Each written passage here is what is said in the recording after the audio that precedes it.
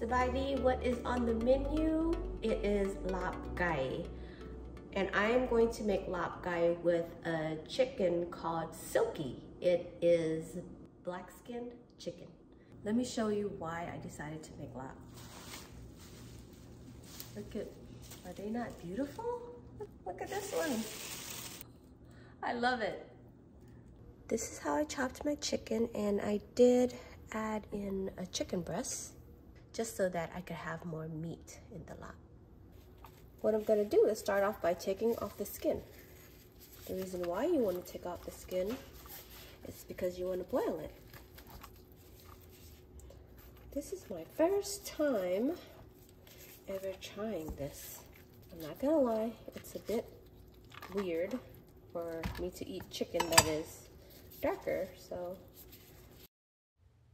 Everything is cut up. Skin, bones, and gizzards go into the soup. The meat goes into the oven. Herbs that go into the soup is gonna be galanga, lemongrass, and cilantro stalks. Now that my water's boiling, I'm gonna add in my bones.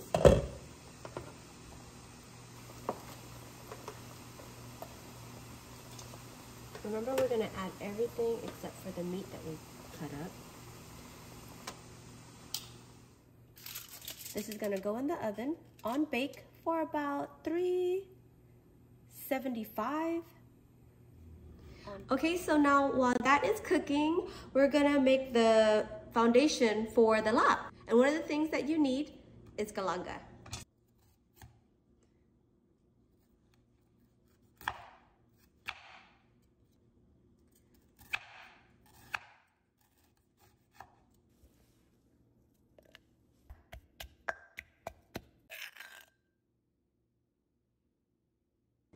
Every time I make laab, I have to have the soup too. It's an extra step, but it's so worth it. I have two kids and they love long beans. Here, Kelly, you want a long bean? You want one too? Hey, baby.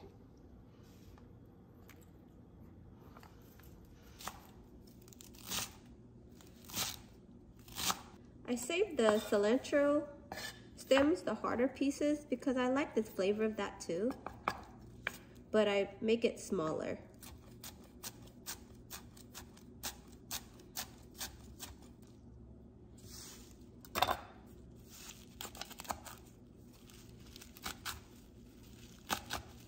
It's time to check on the baked chicken now.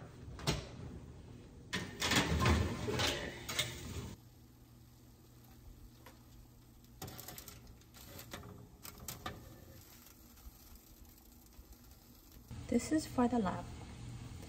So I took out the skin and the gizzard from the pot.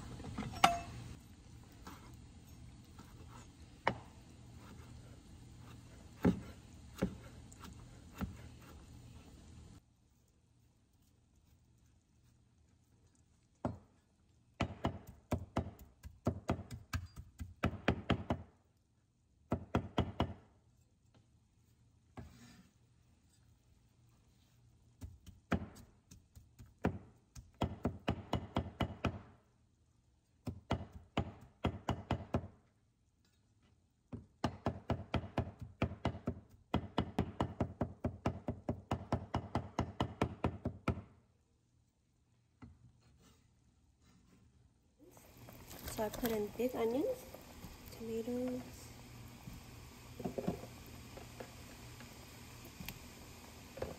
If you're a veggie lover like me, you love to put greens in your soup. What I love to put is mustard greens.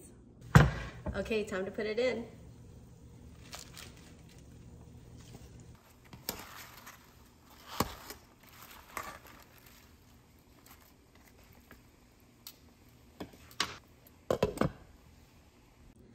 Finally, everything is done and cut up for the laab, and now it's time to put it together. Put the padaek, fish sauce, salt, MSG, and lime together. After you stir it really well, taste it. Make sure it's okay before you put it in. Time to make the laab. Put in the cut up chicken, galanga, and the sauce, roasted rice, and chilies. Mix it up really good.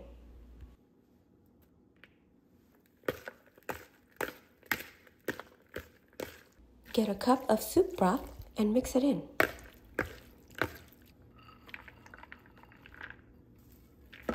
Put in your herbs. Mix it again. Put in half a cup of soup broth so it could be nice and moist. Yay, it is all done. Thank you for watching. If you like it, press the thumbs up for me. And if you love it, please subscribe.